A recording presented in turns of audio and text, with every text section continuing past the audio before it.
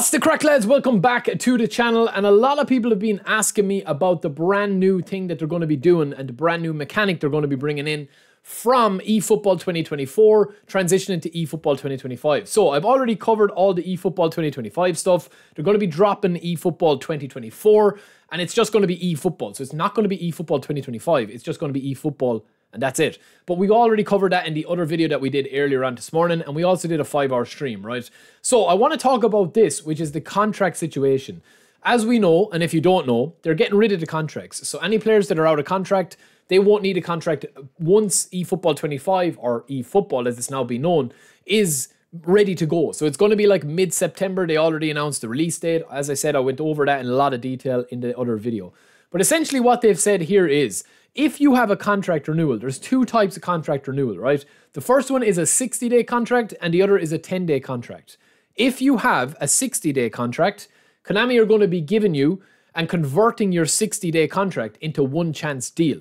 If you've got a 10 day contract, you're going to need six of those to convert into one chance deal. So if this is confusing, I have made a very simple. Now watch the graphics here. Boom. It's very simple, right? It's a very simple uh, diagram here or a very simple graphic.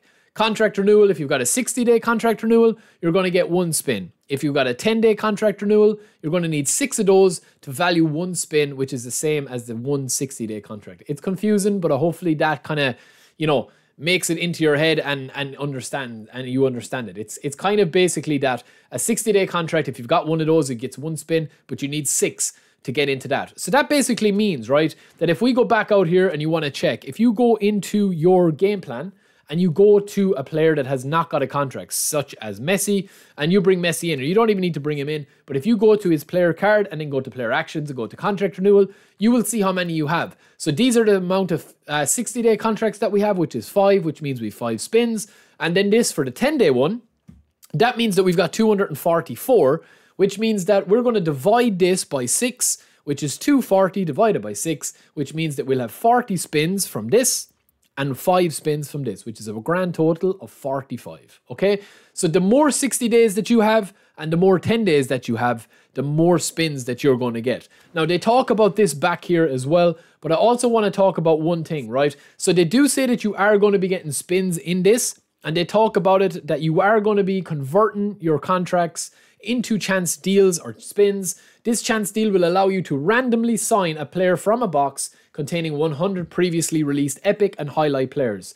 So this is not going to be a box with just 100 Showtime boosters, Vieira, Rijkaard, Maradona, Messi. No, this is going to be a box with a lot of low-rated highlight players and epic players and also probably a few good ones. It depends how many is going to be in the box as well. Will it be 200? Will it be 250? Will it be 100, 150?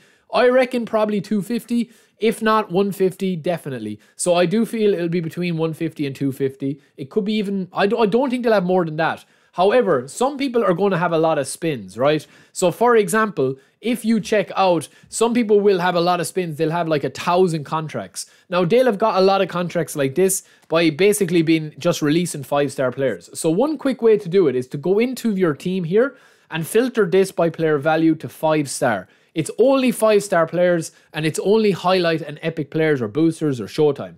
To find out what card you have, if you go into Gakpo here as a standard, his card type is standard as you see over on the left hand side of the screen under his player card. You will not get any contract for releasing him because he's a standard card. However, if you release uh, this guy, Ochoa, right? If you release him, and you release him here with a five star, you will actually get your contract renewal, right? So we can release him there and we're going to get another 10 star or another uh, 10 day contract, which is going to be working towards our way to the spins, basically, right? So that's how you get more contracts. You can't get 60 day ones as of right now, but if you release any of the five star cards that you don't have, um, obviously this is going to be a bit of a bummer if you haven't been playing the game long. Like I have probably about 300 players I can release realistically because I'm not going to really save them now. I had it kind of in my head that they'd bring in some sort of trade feature or transfer feature. I don't know will they do that now, so I'm going to probably clear out my squad a little bit. Also, on top of that, there as well, right? I think eFootball, the league, my league, I think that gives a little indication as to what we could be getting, right? So, as I said, if you go into my league, you'll be able to check out kind of a, a range of players, right? If you go in here to the exchange points and go to loan players, these are kind of a sample of what you could be getting. So, for example, it's not just going to be big time, showtime, Cruyff, Maradona, Vieira, Rijkaard, endgame meta players like bullet header Ronaldo or the new current Cruyff that we have. These are all epic or highlight players. Epic, card type epic. Then you're going to have Haaland, who's going to be a card type highlight. You're also going to have these cards here, like Fekir, who's going to be highlight. You're going to have other cards down here. Cole Palmer, he's going to be a highlight. So it could be a mix of a hundred of these players. You could get somebody like Haaland, who's a Showtime, or you could get somebody like this guy, who's only going to be a 92 overall highlight card. So I don't think they're going to put a hundred of the best ever released cards in there because some people will have 200 spins. You know, so they're not going to give it that easy to you. So that's probably a good example. Also, the player of the weeks in here, they're down as trending. They won't be in it based on this. However, they have changed trending into highlights, so they could do that as well. Basically, everything but a standard card could be in this, but it depends on what size the box is and what size and how many uh, players are going to put in there, right? So I hope that kind of answers that. I hope that kind of shows you guys as well how many that you get. This is not a new concept, right? So I'm going to show you here from eFootball 2022 or from the transition from PES to eFootball. They had this thing called veteran bonus. You can read that here. You can pause the video if you want to read if you're interested. But that basically meant that the more legends you had in your squad, the better that you could use, right? So the more legends you had in your squad, the more spins you would have got for eFootball 2025. And that's kind of how they did it, right? So they had it that if you had 10 legends, you got like five spins or something like that for eFootball 2022. So that is how I got these players. So way back when, this is how I got these players here, just to show you guys if you're interested.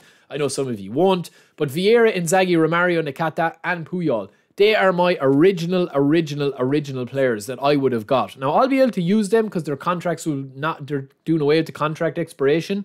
And you can see there the amount of games I've played with Vieira. It was 442 games uh, with Patrick Vieira and all those old school players. They were my first ever veteran bonuses. I had 10 legends in PES 2021, or uh, iconic moment players, and I got five free spins. That is similar to how it's going to work. So essentially, for eFootball 2025, you are going to have probably about maybe 10 to 15 to 20 highlight players and epic players, depending on how many spins you get. Whether there be duplicates, the matter the size of the box, that is dependent on, you know, what happens. But I don't think it's going to be like Beckham, Cruyff, Figo, all those. They'll be smattered in. But I think that we will have a lot of kind of like lower level tier players as well because all of these cards in here are essentially highlight cards. So for example, you could go in here and you could go to this guy. He's an epic card. But all of these cards here, like this, are highlight cards. So it depends on the look of what your spins are going to be. They're all known as highlight cards there, all of these. So yeah, I mean, listen, it's not going to be guaranteed, but if you have more spins, you're going to be guaranteeing yourself some beats. So I hope that answers that and explains it a little bit more. I'll leave that just on the end of the screen there. Don't forget to subscribe if you want to keep up to date with daily content. We stream three days a week. We have the banter, we have the crack. So hope to see you guys around. Give the video a like if you enjoyed it, if it clears it up for you. I'll talk to you in a bit. Let me know how many spins you have as well in the comments below. How many spins are you going to have? Basically, I'm going to have about 40.